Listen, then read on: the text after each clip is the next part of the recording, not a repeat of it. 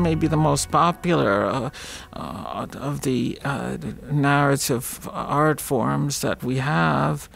Um, and so, therefore, it speaks to a much larger audience than, say, literature or, or uh, opera or theater and so forth. I don't know. I mean, the first movie I saw was Mary Poppins, and and, and followed up uh, shortly after that with The Sound of Music, and uh, that I'm sure I know had a, a, an, an, impact on me. I loved the films as a child, and certainly I, I couldn't have come up with the Sunshine Singers and Palindromes had I not had the Von Trapp family in The Sound of Music. I mean, there's so many uh, that uh, shape uh, me, and I don't mean to deflect or evade this this question, but the primary material uh, uh, is, of course, one's life experience and and uh, the childhood, one's youth, and, and, and that not only what happened directly to you, uh, but what you read and observed and heard about and so forth. And I think that is uh, the the the mother lode, so to speak.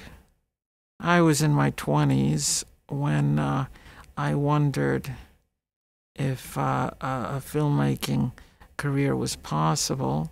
So I was no prodigy.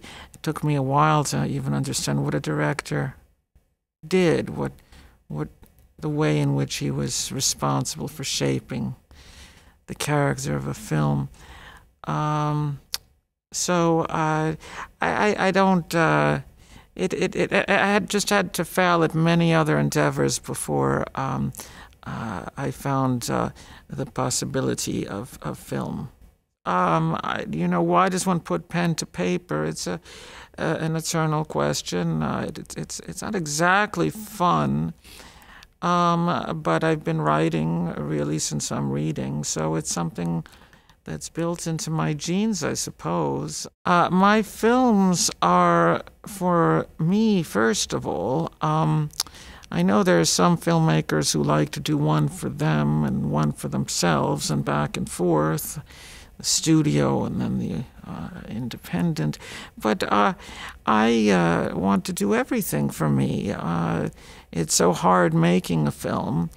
Uh, uh, so much goes into it, and life is short. I certainly wouldn't want to collapse on the set of a film that I didn't particularly want to make.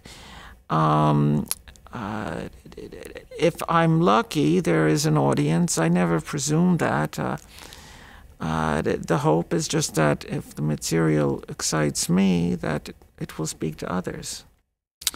Well, I don't think any of my subjects are particularly alien to anyone who lives on our planet. I mean, you just have to open the newspaper or turn on the TV, the internet, what have you. All these sorts of subjects are out there. Uh, my role is in some way I respond to uh, and, and, and then reshape the experience of, of understanding uh, the, the kinds of uh, things that we're assaulted with on such a regular basis and try to uh, find uh, new ways of understanding and experiencing these things. I, you know, I think it's good to, you know, you, you experience, you see the movies that you love and that's what you should trust. Don't trust what the filmmaker says about them. I personally was uh, dependent on having uh, movie theaters uh, uh on campus. When I was an undergraduate, and but of course uh, that was before they had VCRs, so it was the only way really to see movies unless you could catch it on TV in a sort of haphazard way.